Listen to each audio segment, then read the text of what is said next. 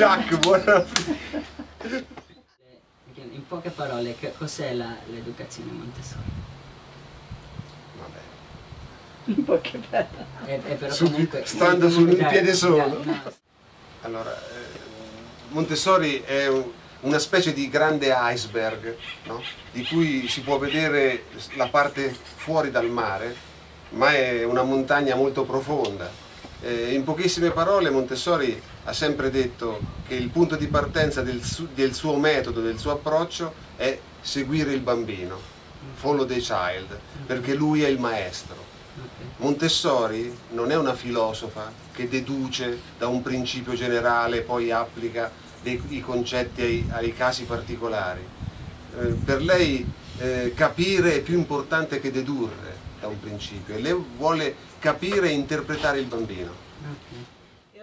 Eh, come si differenzia questa concezione che abbiamo noi eh, del bambino o dei, dei genitori che stanno eh, per avere un bambino e la loro mentalità e, e quella che ha avuto contro di quella che ha avuto Montessori? Eh, Montessori pensa che ha scritto un libro che ha intitolato La scoperta del bambino. Sembra abbastanza presuntuoso, come i bambini ci sono sempre stati, i bambini sono i, i cuccioli dell'uomo, dell'homo sapiens sapiens, però in effetti noi abbiamo sempre visto i bambini eh, dal punto di vista dell'adulto. Gran parte della cultura occidentale è stata centrata sull'adulto. E Montessori all'inizio del Novecento ha detto appunto di aver scoperto il segreto dell'infanzia, cioè vedere, guardare realmente cosa c'è dentro al bambino, quale potenziale c'è dentro al bambino. Mhm. Eh, che, cosa ne, che cosa ne scoprì Maria Montessori? Eh, Montessori eh, è stata per fortuna una ricercatrice e un medico. Lei non ha studiato pedagogia, non è stata un'insegnante. Già questo significa che lei guarda, è più interessata a capire che a insegnare. Lei non vuole educare il bambino, lei vuole capire quali sono i bisogni perché i bambini diventino meno infelicemente adulti dei propri genitori.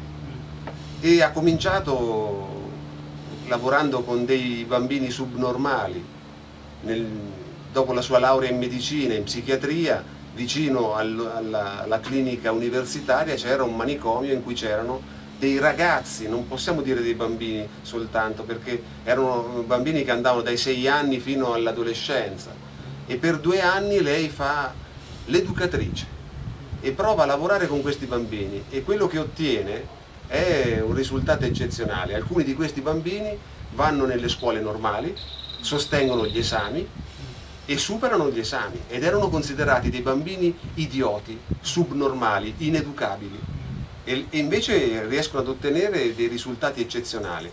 E la domanda di Montessori è veramente straordinaria perché un grande ricercatore si qualifica per le domande che fa, non soltanto per le risposte che trova. E la, la domanda che pone Montessori è che cosa non va nella scuola normale?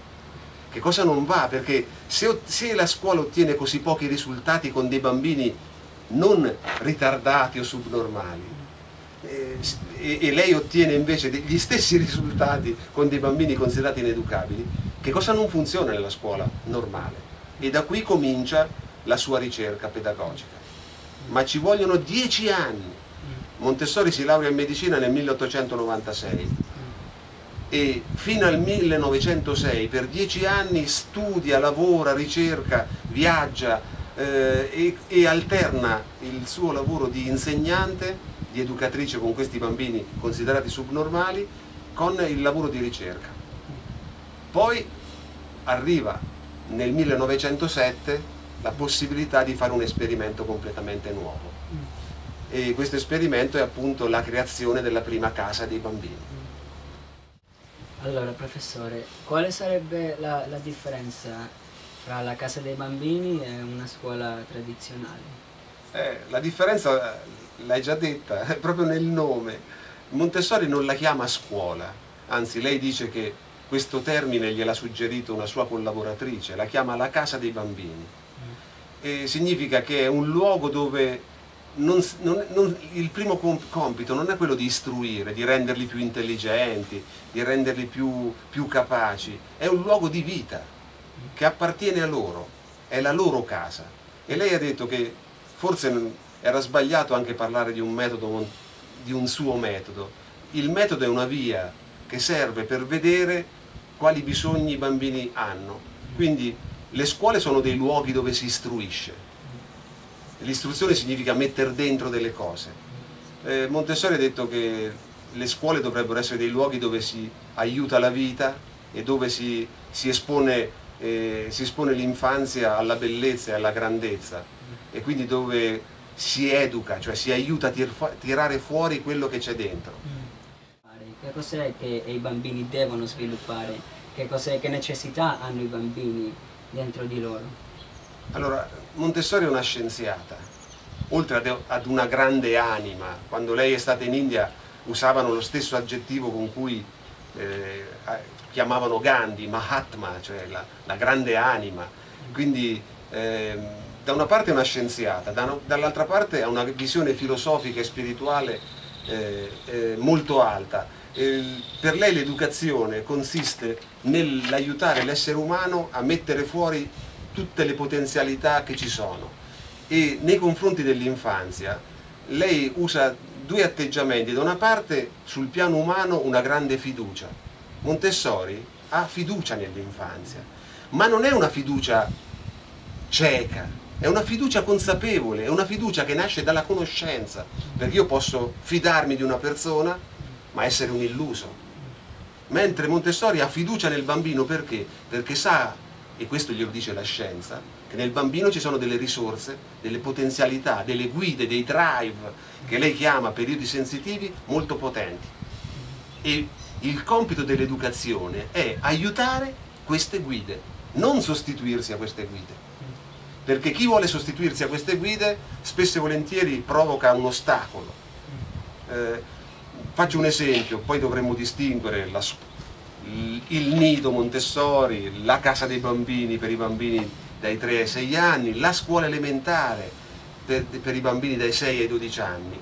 Eh, Montessori ha una concezione dello sviluppo umano, lei parla proprio della metamorfosi, cioè un bambino di 2 anni non è neanche parente di un bambino che ha 4 anni e un bambino di 4 anni è, un, è completamente diverso da uno di 7 anni, è lo stesso bambino ma chi, è, chi ha avuto l'esperienza, Montessori dice una cosa bellissima, il bambino tra i 3 e i 6 anni pensa con le proprie mani, quindi ha sempre bisogno di oggetti da toccare, di attività da fare. Il bambino di scuola elementare, tra i 6 e i 12 anni, pensa con le proprie gambe.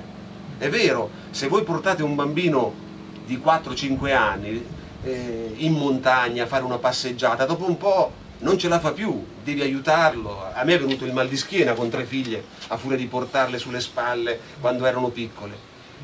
Prova a portare un bambino di 7 o 8 anni a camminare.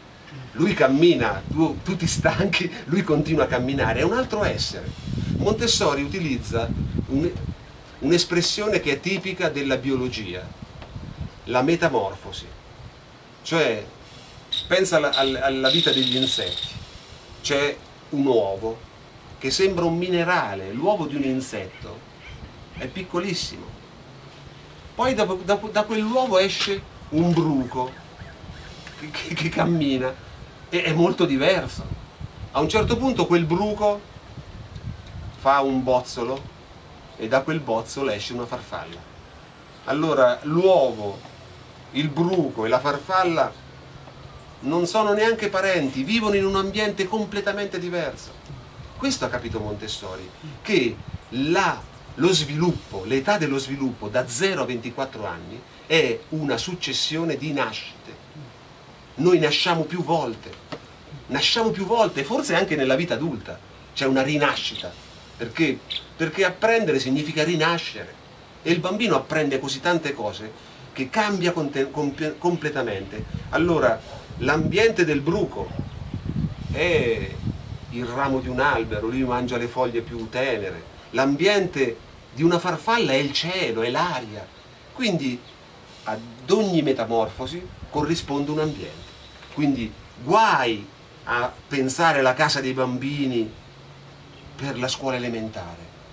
Il bambino dai 6 ai 12 anni ha, come, ha bisogno del mondo, ha una capacità completamente diversa, è entrato nella, nel periodo sensitivo della cultura, dell'astrazione, dell'immaginazione, nel periodo sensitivo della giustizia, del senso sociale, cioè ha bisogni completamente diversi. E invece cosa abbiamo nel sistema educativo? Aule, aule nel, dai 3 ai 6 anni, aule dai 6 ai 12 anni, aule dai, dai, dai, dai 12 anni ai 18, aule dai 18 ai 24. Mentre Montessori dice nella scuola elementare, per esempio, siccome il bambino ha una capacità di, di astrazione e di immaginazione, ha bisogno di uscire fuori, come puoi parlargli di un bosco o del, della vita delle piante senza portarlo dentro all'ambiente? Quindi il vero laboratorio è fuori dell'aula e quindi deve fare questa specie di entrare e uscire dall'ambiente scolastico. Eh, la, tantissimi di noi possiamo essere nell'ambiente, eh, adulti principalmente, possiamo essere nell'ambiente e non vederlo, non guardarlo, non osservarlo. Eh, I genitori possono avere dei figli e non osservano questi periodi sensitivi, no, non si rendono conto. Si può avere la, la, la fiducia, però la, la, maggior della gente è eh, per conoscere devo toccare, devo vedere. Ci, ci, ci daresti un eh, consiglio o, o un'osservazione per, per, noi, per, per, la gente, per poter osservare o venire a conoscere questo nel bambino che vediamo? È vero, cioè eh, la fiducia non basta, ci vuole la conoscenza. A me grandi, le grandi allieve che ho conosciuto di Maria Montessori mi hanno insegnato che bisogna utilizzare tre tipi di verbi amare. È chiaro, tu non puoi fare l'educatore e forse neanche il genitore se non ami. Amare però è una parola ambigua, è una parola... amore significa coinvolgimento. L'amore è un sentimento, i sentimenti hanno sempre anche il loro contrario. No? Allora ci vuole la conoscenza, perché l'amore può far fare anche dei grandi errori e invece ci vuole la, anche la conoscenza, ma la conoscenza significa distacco, cioè cercare di capire, di studiare a fondo. Quindi io posso amare il bambino, come succede sempre, tutti i genitori amano i propri figli, ma per amore possono fare tutta una serie di sbagli. Certo. Allora ci vuole la conoscenza. La conoscenza da sola sarebbe troppo fredda. Allora se l'amore è troppo caldo, troppo coinvolgente, la conoscenza è troppo distaccata, troppo fredda. Qual è l'equilibrio? Il rispetto amare, conoscere, rispettare. E rispettare significa saper aspettare, saper capire. Eh, questo è molto difficile perché noi eh, vogliamo aiutare il bambino, eh, ma spesso troppi aiuti diventano un ostacolo per la sua indipendenza, per la sua autonomia. Ma lo facciamo per amore. E allora Montessori ci ha dato veramente tutta una serie di, di, di, di conoscenze, di mezzi perché non ha soltanto scritto. Rousseau ha scritto un grande romanzo che si chiama L'Emilio, mm-hmm. ma non ha, si sa, non ha, non ha, educato neanche i loro figli, i propri mm. figli, li ha, li ha abbandonati. Montessori non ha, non ha soltanto scritto o parlato o raccontato qualcosa sull'infanzia, ha sperimentato e poi ha dato degli strumenti che sono appunto il metodo, l'ambiente, il materiale, tutta una serie di tecniche e in questo caso la tecnica non è contraria alla libertà, anzi, si aiutano a vicenda, però sempre mettendo al centro l'attività del bambino. O l'attività dell'adolescente, perché poi se andiamo a vedere la scuola per l'adolescente sembra che Montessori sia venuta da un altro pianeta, ma è vero, noi, noi trattiamo gli adolescenti come dei bambini, è la cosa che odiano di più. E li teniamo fermi, buoni e zitti dentro un'aula, dietro ai banchi e dentro ai banchi quando sono degli adulti. Ci vorrebbe un altro ambiente. Non è possibile che ci sia uno, lo stesso ambiente da 0 fino a 24 anni. Que questo è il limite della scuola. Faccio un altro esempio, una delle materie, la cosa strana, almeno nel mio paese, almeno in Italia, eh, eh, mi è capitato recentemente di fare un corso di aggiornamento per per gli aspiranti insegnanti di matematica. La matematica è una delle discipline più temute gli insegnanti di matematica fanno paura perché sono l'esattezza matematica non perdona nella scuola Montessori mi dicono le insegnanti indovina qual è la disciplina che i bambini amano di più? La matematica. Perché, perché anch'io quando partecipavo ai, al corso Montessori era affascinante riscoprire l'addizione, la, la sottrazione, la divisione, la moltiplicazione con il materiale e scoprivi che la matematica non è quell'arida disciplina che ti spaventava a scuola, ma è un modo di vedere il mondo, il più potente pensiero modo di vedere il mondo e Montessori dice insieme a Pascal che il bambino ha una mente matematica, l'esprit de géométrie sta dentro di noi. Ma allora se è vero, perché odio la matematica? So, what is the goal? Do we have an expectation as a Montessori education? Are we trying to make children more peaceful or are we trying to maximize their brain power? Because violence and jealousy and possessiveness are part of our human instinct. Or animal instinct? Are we trying to take it out of the children and trying to make them more peaceful? Or because the point is that we only observe and let the children do what they want. But if we don't come in and say, this is good, this is bad, jealousy is bad, or sharing is good, collaboration is good, if we don't define them, how do children know? So, what's the limit? What's the boundary? Va bene. allora, Montessori ha detto che molte cose. Montessori ha anche una sua, non è stata una filosofa di professione, però ha una sua visione del mondo. Era troppo intelligente per, per dedicarsi soltanto ad, ad una tecnica, ad un metodo, anche se importante. Mm, lei ha una visione dell'uomo, una concezione dell'uomo e la concezione dell'uomo che ha Montessori è positiva nell'uomo ci sono delle energie fondamentalmente positive. Ha una concezione completamente diversa da Freud. Freud era un pessimista naturalista. Montessori è invece un ottimista sulla condizione umana di tipo spiritualista per certi versi. Però non è un'illusa, e quindi cerca delle prove per quello che sta dicendo.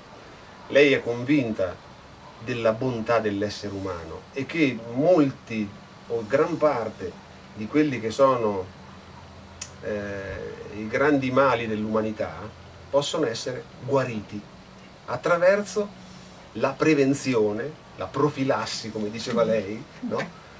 perché Freud curava le persone quando erano grandi e già ammalate, ma se, se, fossero state educate in una maniera diversa non sarebbero diventate degli adulti ammalati. Per cui eh, lei ha una grande eh, visione ottimistica i grandi mali dell'umanità possono essere curati tutti. Allora, eh, nella domanda che, che, ha fatto lei, l'aggressività. Eh, sull'aggressività è stato scritto di tutto. Pensate quello che Freud ha scritto sull'aggressività.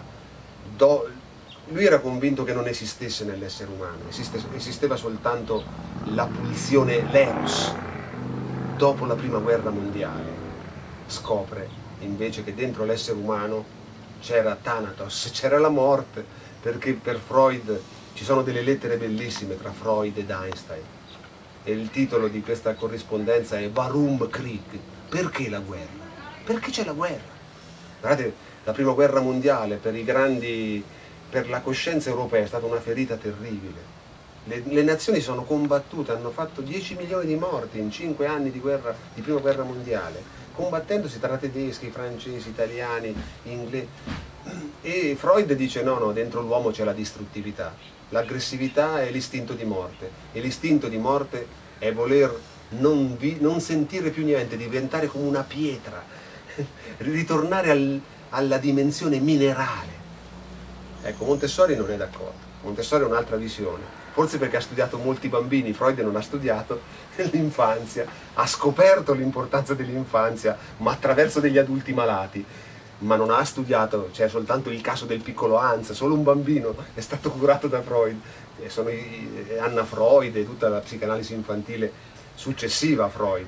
Ecco, invece Montessori, forse perché ha studiato i bambini, ha scoperto che nel bambino c'è un agente cosmico positivo, il bambino può cambiare il mondo, può salvarlo. Montessori scrive nel segreto dell'infanzia che il bambino è il Messia, cioè il Salvatore, e usa la prospettiva cristiana. E che cosa fa? Ogni bambino che nasce è come Gesù Cristo che viene a salvare il mondo. E che fine fa Gesù Cristo? Viene messo in croce. E allora però ricomincia da capo. Quindi il bambino è il salvatore del mondo. Eh, quindi in lei c'è questa visione positiva. Allora, la violenza può essere, il veleno della violenza può essere tolta. L'aggressività è un'energia. L'aggressività non è negativa. Quando tu vuoi studiare un libro devi aggredirlo. Quando, tu, quando tua madre vuole costruire una scuola deve metterci tutta l'energia. L'aggressività, come direbbe Conrad Lorenz, il grande etologo, è il cosiddetto male, ma non è un male. È quello che ci fa vivere, è un'energia. Il problema è di come canalizzarla. Così, dicevamo stamattina, no, nella sua domanda, l'istinto di possesso. Montessori parla di un istinto di possesso. Io, mio, e allora tutti i pessimisti hanno detto, vedi, anche il bambino dice sempre mio, mio, lo voglio io, è egoista. L'uomo è un animale egoista. Montessori non è d'accordo su questo. Però esiste l'istinto di possesso. È l'eredità della territorialità degli animali. Tutti gli animali hanno uno spazio vitale, cercano di difenderlo. No? Eh, dicevamo stamattina, se c'è una sedia libera vicino a me, è libera, ma tu ti avvicini troppo e io mi devi chiedere è libero in questo posto? E allora ti dico di sì, perché io difendo il mio territorio e gli altri lo sanno. Detto questo però, anche il bambino ha un istinto del possesso, ma lei usa un'espressione bellissima. L'educazione dovrebbe aiutare il bambino, e parliamo del bambino di scuola di casa dei bambini, tra i 3 e i 6 anni, a sublimare l'istinto di possesso nella conoscenza. Cioè un bambino che conosce le cose, se un altro bambino gliele chiede, lui gliele dà, perché ormai ce l'ha dentro di sé, c'è un possesso più profondo che è la conoscenza, è un grande privilegio. Se io amo così tanto la storia dell'arte, che capisco così bene un capolavoro, eh, la Pietà Rondanini di Michelangelo, oppure un quadro di Caravaggio, e lo conosco e lo amo così tanto e mi parla così tanto, che bisogno di prenderlo, di tenerlo in casa o di metterlo in una cassaforte e avere l'originale. Anzi, forse chi non lo conosce pensa di possedere perché è suo.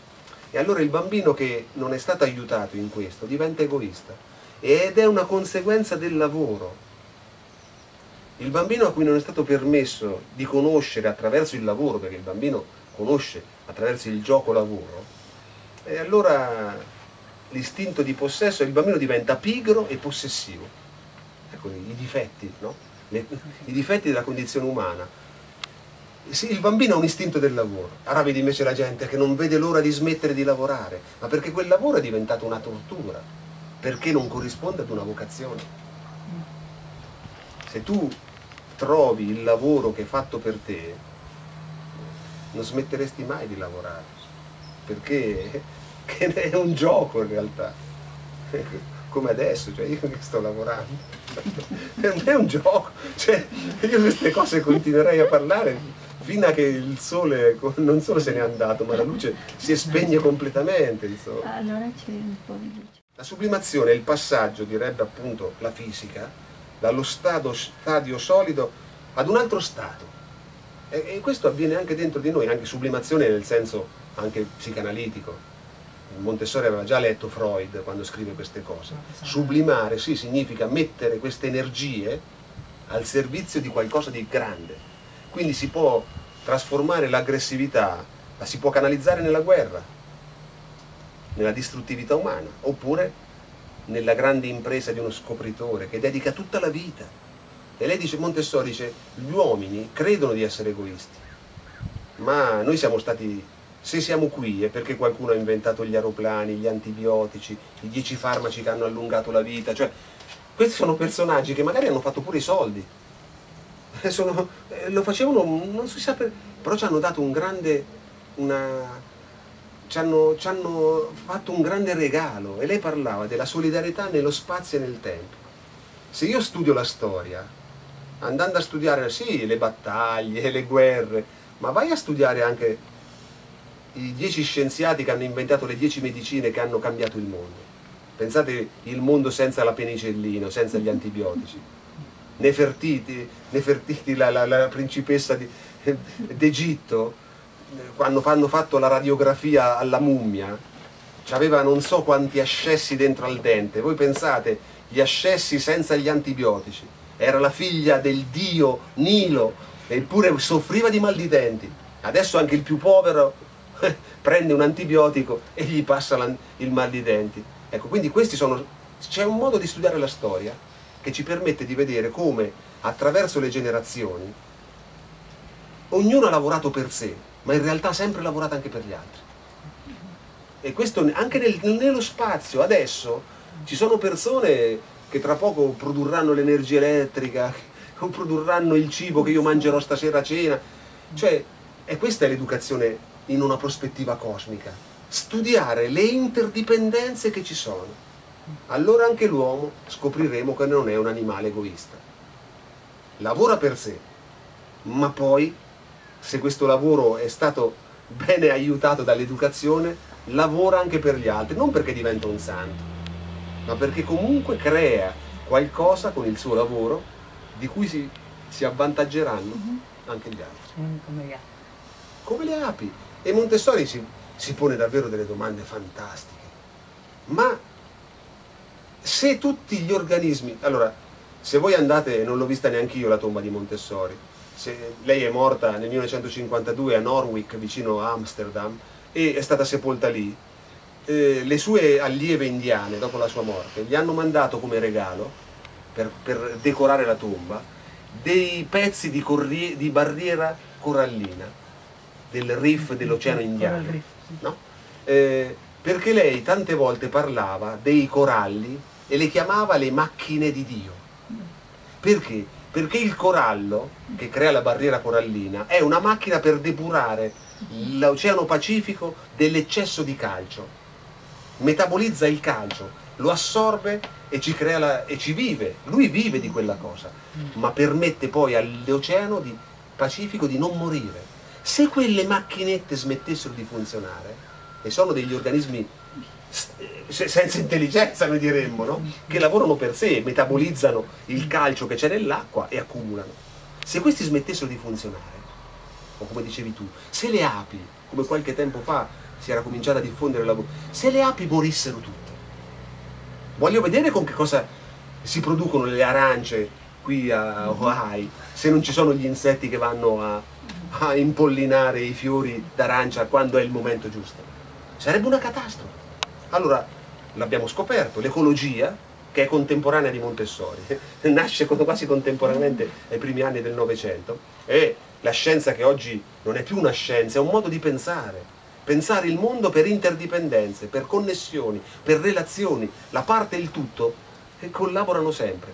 Ma se lo fanno i coralli e lo fanno le api, noi che abbiamo un cervello di un chilo e 400 grammi, ma che ci faccio io con questa cosa che ho sotto, sotto i capelli? A che cosa serve? Potevo essere un... Neanderthal ce l'aveva più piccolo ed era già un superuomo, poteva dominare la natura.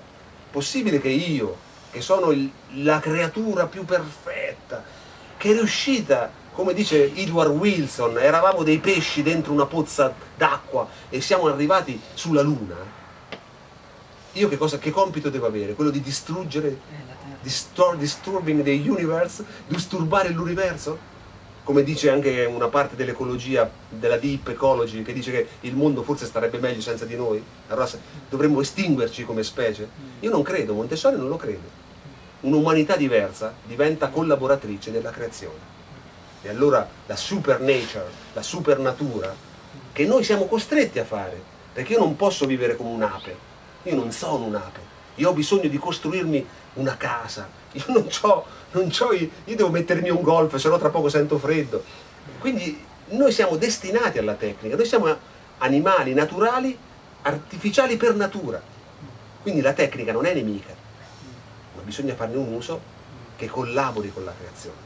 Ed è questa la visione ottimistica. Quindi tutte quelle energie l'egoismo, la violenza, la crudeltà, possono essere sublimate, messe al servizio di un compito collettivo superiore, che finisce poi per collaborare alla, al grande compito della natura nel caso dell'evoluzionismo o di Dio nel caso del creazionismo. Ma è, è la, stessa, la, stessa, cosa. E concludo. Eh, nella parte conclusiva di un libro piccolo così scritto da Montessori, intitolato Dall'infanzia all'adolescenza, che è uno dei più belli, dei più intensi, e adesso che ci penso, è anche il primo libro che ho letto di Montessori, perché sono andato in libreria e l'unico che ho trovato è quello, ed è stato il primo libro, ma l'ho letto tante volte, ma rileggendolo, forse in età diversa, in momenti diversi, ad altezze diverse della mia vita, ho scoperto una frase fondamentale che dice Montessori, e qui vedi il passaggio dello scienziato al Mahatma, alla grande anima, a qualcuno che ha da dire appunto, da, da, da sperare agli esseri umani. Ci sono due fedi che salvano l'uomo, gli esseri umani, la fede in se stessi e la fede in Dio. E ci sono due pericoli che possono far perdere gli esseri umani, il potere e il possesso. Eh, questa è saggezza. In Montessori noi abbiamo la sapienza, la scienza e la saggezza. Se non c'è la, se non c'è la saggezza, la sapienza non basta. Se non c'è la coscienza, la scienza senza la coscienza, eh, potrebbe essere un, un pericolo invece. Eh, si vede, insomma. Pleasure to be in your presence. Grazie. Oh. Grazie ah, per la pazienza. È stato, no. è stato è lei per noi un regalo, un, come si dice? No, ma no. Sarà questo ambiente che mi suggestiona, insomma. Ah, però. Potremmo dire mille altre cose. Se eravamo dentro un laboratorio, se eravamo dentro un laboratorio eh, di chimica, vedevamo le cose completamente no, diverse. No, ma per arrivare allo stesso eh, obiettivo. Sì, così. C'è un'ultima cosa, scusa, che sì. mi piacerebbe però dire, che forse neanche ieri ho detto, eh, quella che ho detto invece poi chiacchierando tante volte. Eh, il collegamento che c'è, proprio mi piacerebbe che lo traduci anche a lei, ehm, il collegamento che c'è tra qualsiasi bambino, di una qualsiasi scuola, di una qualsiasi famiglia, del paese più piccolo, più disperso, più lontano del mondo, e il destino del mondo c'è un collegamento perché non sappiamo dove quel bambino tra 25 anni o tra 30 anni sarà. Può darsi che è quello che ha le leve per distruggere il mondo o creare il mondo.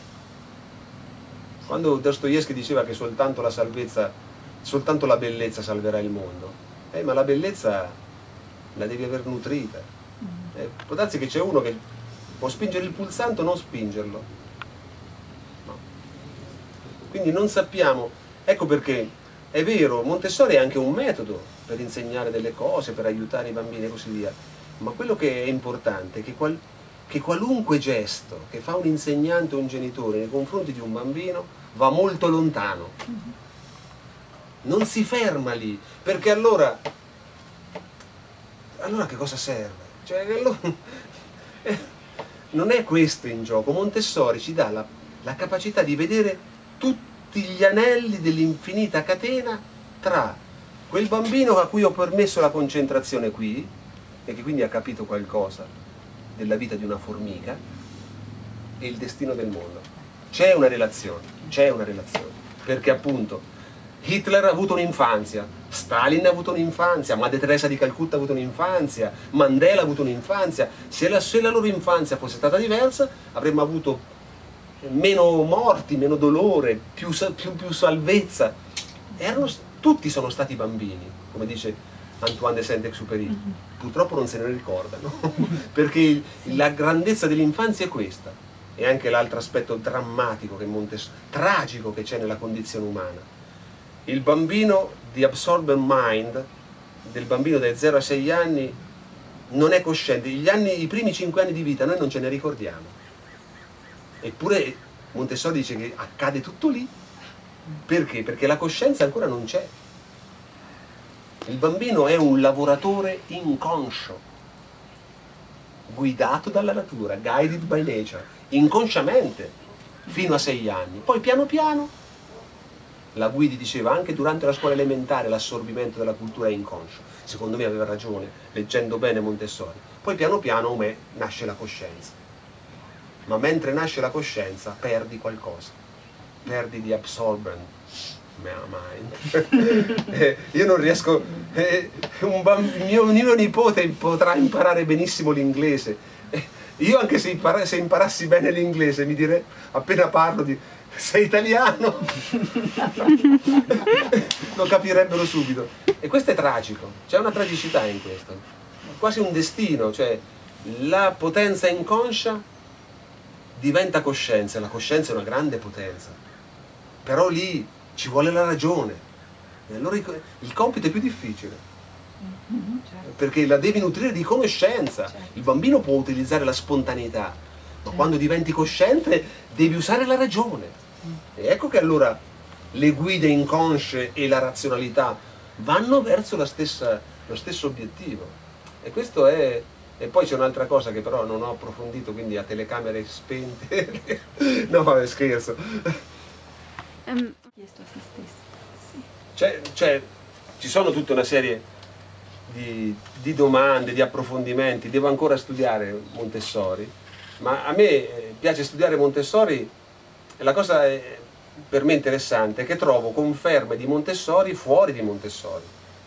Questa è la cosa più interessante, perché studiare solo Montessori al suo interno eh, invece la cosa più bella è quando trovi in qualcuno che neanche l'ha mai sentita nominare che dice le stesse cose. E c'è un educatore pedagogista italiano che si chiamava Aldo Capitini, il quale una, è stato anche un, viene chiamato il Gandhi italiano, è uno dei fondatori della non violenza, un grande, un grande personaggio, il quale si domanda eh, in un articolo, in un, in un libro, contenuto in un libro intitolato Educazione aperta, no, anche qui, ne aveva scritto un altro intitolato Religione aperta. Anzi, lui era stato battezzato e si fa sbattezzare perché dice che lui, il suo cristianesimo riguarda tutte le religioni. È quello che ha fatto la marcia sul, della pace tra Assisi e Perugia, è diventato famoso eh, in tutto il mondo, insomma. Quindi una grande, un grande... Però si pone una domanda tragica per certi versi. In, una, in un testo intitolato Il bambino e la morte. Che senso ha mettere tutta l'energia, tutta la tecnica, tutto l'amore, tutta la conoscenza nell'educazione se tanto questo bambino deve morire.